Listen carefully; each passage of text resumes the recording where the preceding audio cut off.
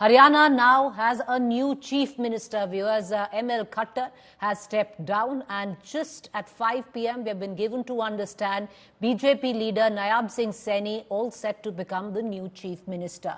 After Manohar Lal Khattar resigned from the chief minister's post, Nayab Singh Saini will be sworn in at 5 p.m. BJP now looking at getting the support of independent MLAs after the breakdown of their alliance with JJP. Now, um, 90 is the strength of the House, 41 MLAs with the BJP, 30 with the Congress, 10 with the JJP, and 7 independent MLAs, with the 10 from the JJP moving away from the BJP. And but word also has it on the sidelines that they could be split in the JJP MLAs, and some might stay with the BJP. The BJP for now safe because it has the support of the seven, the six out of seven independent MLAs and uh, will stake claim to form government again. But the big story coming in this time not under the leadership of uh, Manohar Lal Khattar, but that of Nayab Saini. Nayab Saini is an OBC face uh, from coming in from the Saini caste, a Mali caste in uh, Haryana, is the Lok Sabha MP from Kurukshetra, known to be a close aide of ML Khattar himself and is also the Haryana BJP chief, considered to be a close aide of ex-chief minister Manohar Lal Khattar. Let's quickly cut across to Bhupinder Hooda from the Congress. Of course, the Congress looking at the situation unfold in Haryana.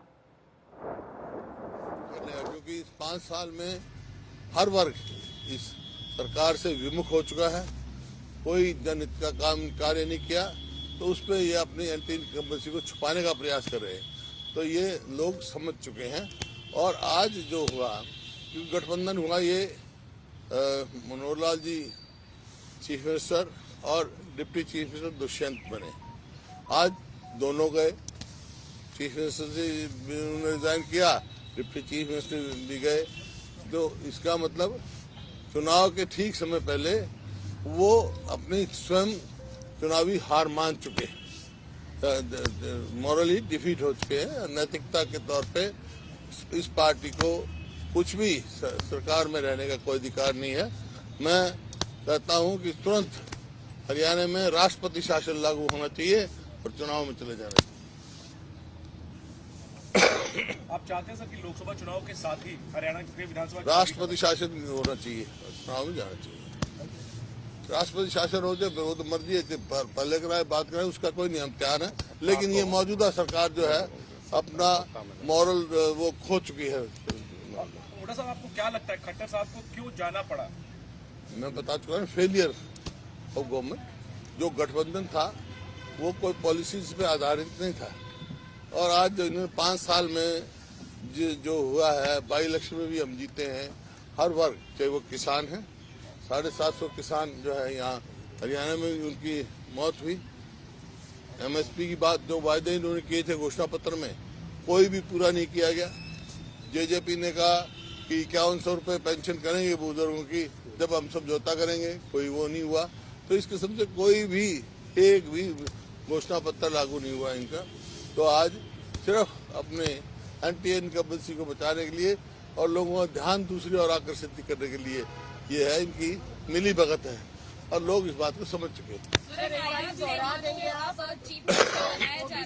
OBC चेहरा है वो एक। क्या आपको लगता है कि आने वाले दिनों में जो लोकसभा चुनाव आ रहे हैं उन पर भी एक इम्पैक्ट पड़ेगा? क्योंकि कांग्रेस भी ओबीसी देखिए चेहरे सबके है ओबीसी चेहरा है अच्छी बात है लेकिन कास्ट कंसिस्टेंस नहीं करते ये सेंसिस तो नहीं मान रहे।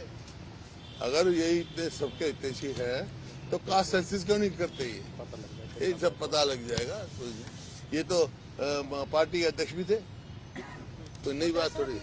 समझना हाँ तो, वो तो प्रजातंत्र में तो सबका अधिकार है। कांग्रेस पार्टी सबके साथ है।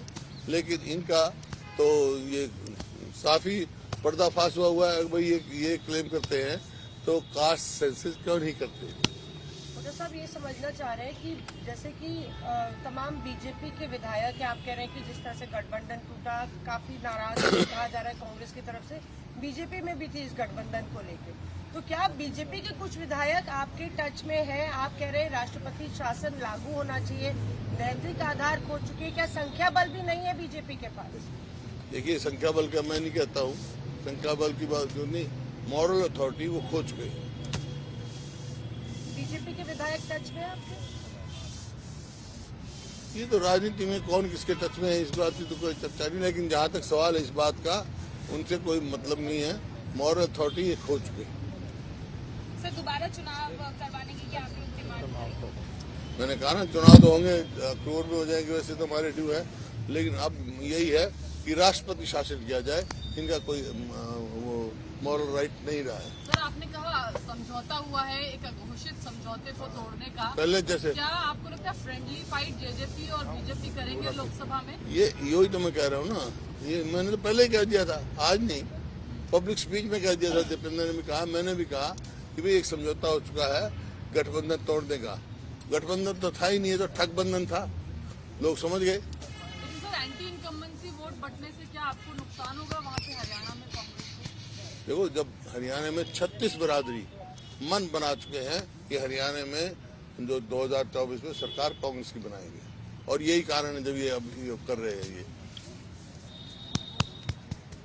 हो गया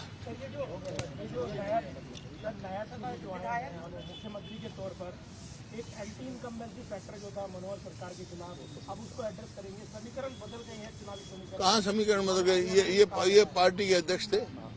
ये भी तो सत्ता में थे। पार्टी के अध्यक्ष थे।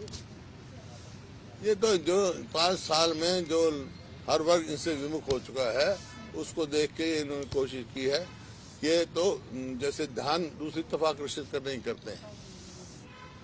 ध्यान बांटने की कोशिश करते हैं। बांटने की कोशिश ऐसे करते हैं। एक डॉक्टर था,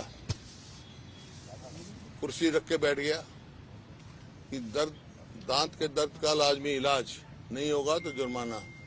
था कुछ नहीं, ना जमूरा उसके पास, ना कुछ। एक आया, उसने कहा, जी, मेरी जाड़ में दर्द है। वो बोला, बैठ जाओ कुर्सी पे। दो शीशी रखी थी उसके पास और शीशी में पानी, मिर्चों वाला पानी रख रखा था। तो बोला, बैठ जाओ आँख में वो डाल दी और मिर्चों का पानी वो बोला ओहो आँख मेरी आँख बोला बोला जाड़ का दर्द डॉक्टर बोला जाड़ बोला छोड़ो जाड़ के दर्द को मेरी आँख बचाओ। ये तो ये काम करते हैं। जब हरियाणा को बर्बाद कर दिया। अब लोग समझते हैं इस बात को। सर प्रधानमंत्री नरेंद्र मोदी ने तारीफ़ की थी हरियाणा सरकार की। अभी गए थे वो शाबाशी दी थी। मैं उनकी पार्टी के थे वो तारीफ़ ही करेंगे। 24 घंटे वो वो वो प्रधानमंत्री जी ये कैसे कहते? कि पाँच साल इन्होंने हरियाणा बर्बाद कर दिया। धन्यवाद।